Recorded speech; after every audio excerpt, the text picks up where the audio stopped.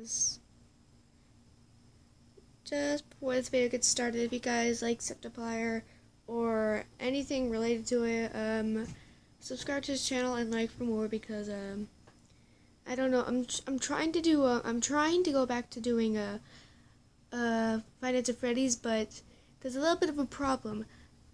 I can't react to it because I've, you know, I've been uh, like At Freddy's stuff like uh I can do a at Freddy's trying to laugh. You guys want me to, I, I mean I will if I if I want if I want to. I, that just sounded absolutely mean. I'm so sorry. I'm so sorry. Ugh. I mean, I'll see if I can find one that I can react to that I haven't looked at before, but I'm not gonna laugh. I'm, to be honest, if I laugh, it's gonna be very surprising because I barely laugh at anything. Well, sorry. Let's get this started. Mark's POV. Why me? A thing I asked myself for years. A thing I have asked myself every time. I was getting hit. A thing I asked every time I was getting teased. A thing I asked my, every time my parents pretended I didn't exist. A thing I asked when I fell in love with the person who hurts me the most. I want him to see a difference, different side of me. I want him to love me, to protect me. I love him so much.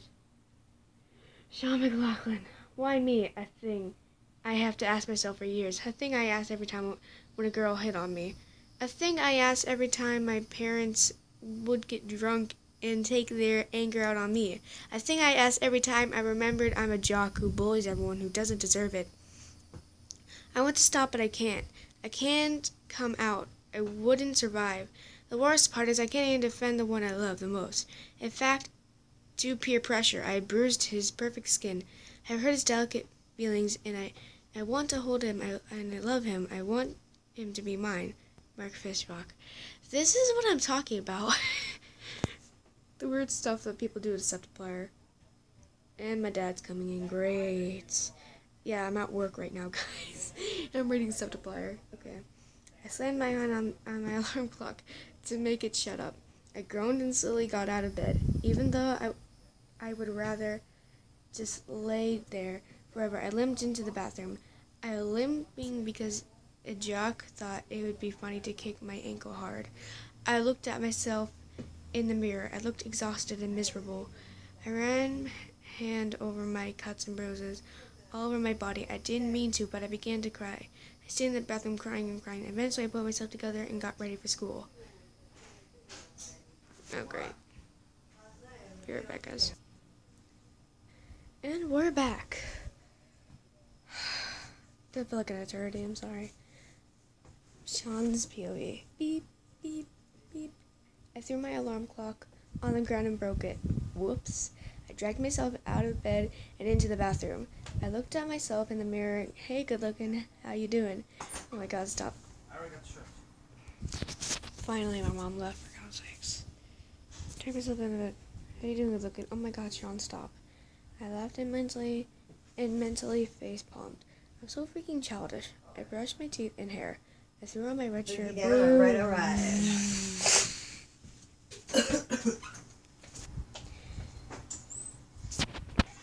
Blue jeans, sneakers, and my football jacket. I smiled and walked downstairs. My parents were passed out as usual. At least they can't hit me when they're like this. I shook my head and walked out. Oh my god, I'm so annoyed because I haven't even done it. And it hasn't been five minutes.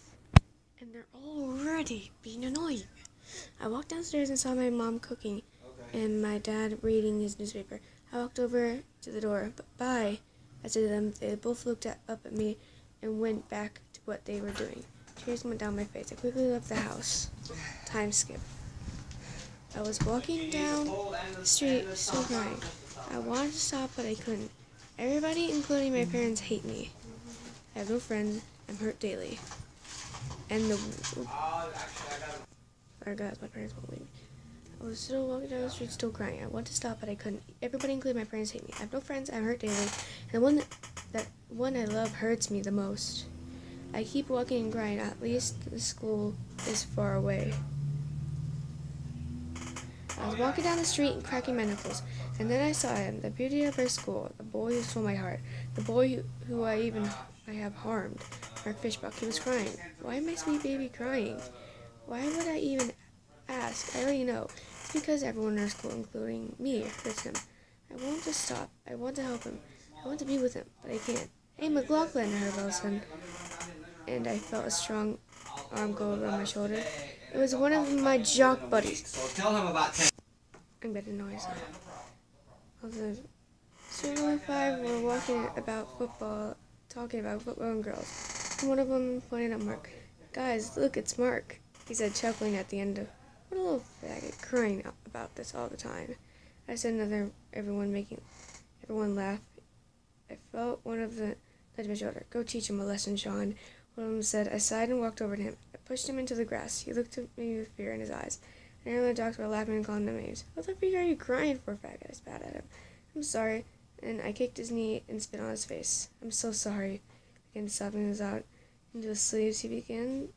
He begged me to go away, so I did. I turned around and walked my, with my friends. I took one last glance at him and felt my heart break a little when I saw him look like that. Finally! Jesus Christ! I'm sorry.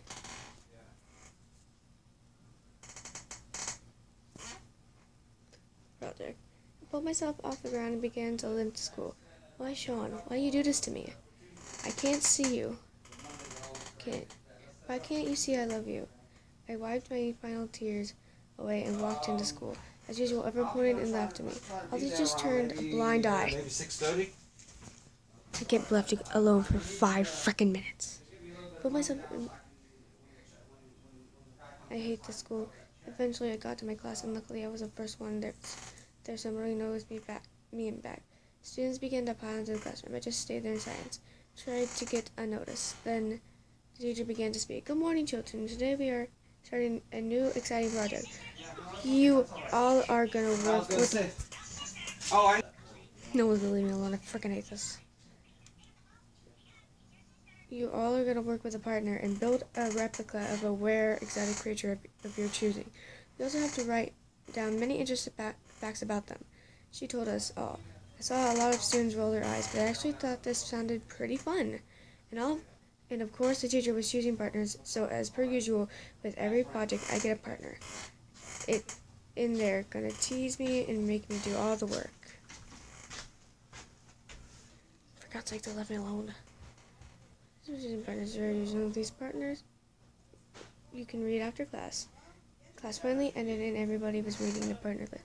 I waited until until everyone left and I read the paper. List of partners: Sarah and Bobby, Michael and Amy, uh, Jeffrey with Alex, Sheen with Sean.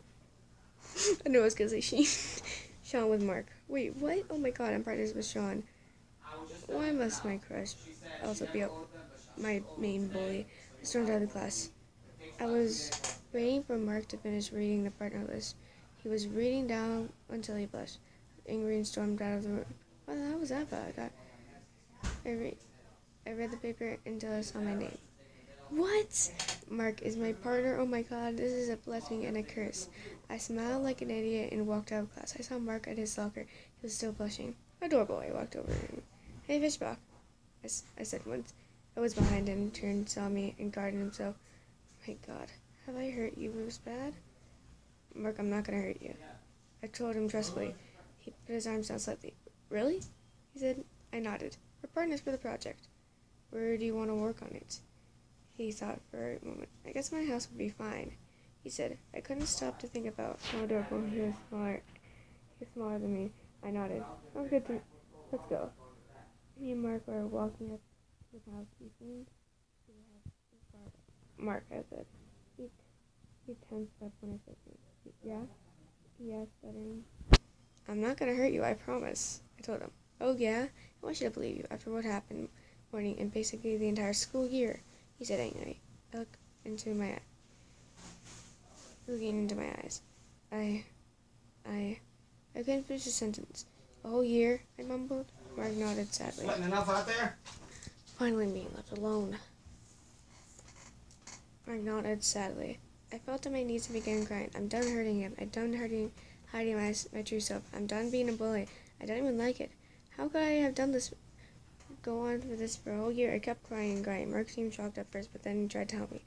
Sean, why are you crying? He asked, rubbing my back. I don't want to hide anymore. I whimpered out. Okay, he continued rubbing my back. Ugh. This I don't like this. What's going on? What's gotten into Sheen all of a sudden?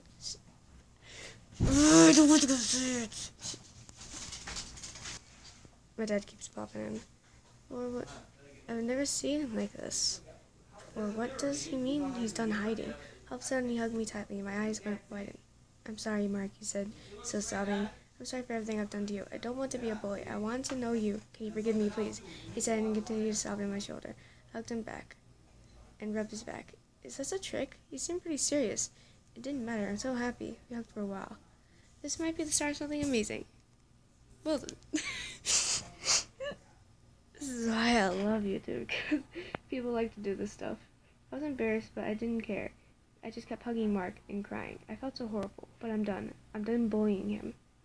I'm done hurting him. I'm done hiding who I really, who I re- hiding who really him. Okay? I wiped away the last of my tears. Mark helped me up. I looked into his eyes. I'm so sorry, I said again. Mark smiled. It's all right. Let's go to my house, he said. I smiled and nodded. Mark's house was empty except for a little Yorkie dog. He had brown, curly fur and brown eyes. I giggled as the dog tried to jump on my legs. That's Tim, Mark said, laughing. I picked up the dog and it licked my face. I, I laughed. Hi, little kitty, I said to the dog. I saw Mark smiling at me. I blushed and smiled back. Come on, let's go up to my room, Mark said. I nodded and followed him. His room was pretty messy, but mine was mine's worse. He had a lot of video games. Nice room, I, I said, setting the dog on, on the bed. Thanks, Mark said, smiling. So, what exotic animal are you doing for the project? Mark asked me. I thought for a moment, how about we do a bush baby? I asked. Mark cocked his head to the left. What's a bush baby? He asked me. I asked. He asked me. I asked if I could if I could use his computer. He nodded, and I went on and Googled a bush baby. This picture immediately popped up. Mark said, smiling widely. Aw, they're so cute. He said, I like you. I said, I, I, I remember. What was that? Mark said, I said, I know, right. I smiled and nodded. That was close. We printed out a bunch of pictures of ba bush babies and wrote down facts about them. Okay, now we all we gotta do is make a replica of one, Mark said. I smiled and nodded. How about we work on it tomorrow? I asked him. He nodded. Wanna watch TV? He asked. I smiled and nodded. Me and Mark walked in. Why, Wesley? Every time! This got good AC. My brother walked in. Must have been. Me and Mark walked downstairs. I saw a man and woman who must have been Mark's parents. Mark mood, mood changed. He looked sad. I hated seeing him like that. Hi, Mom and Dad. He started. They didn't even look at him. Mark began to tear up. I felt anger in me rise. He said hello. At least look at him, I yelled at them. They looked at me completely shocked. I blushed from embarrassment and looked over at Mark. He just sucked as them. I didn't know what to do, so I just ran away. I ran and ran away to the park. I just tried to catch my breath. Jack, I heard from behind me. I looked to see Mark also trying to catch his breath. I, I'm sorry, I looked down. All of a sudden, I felt two arms wrap around me.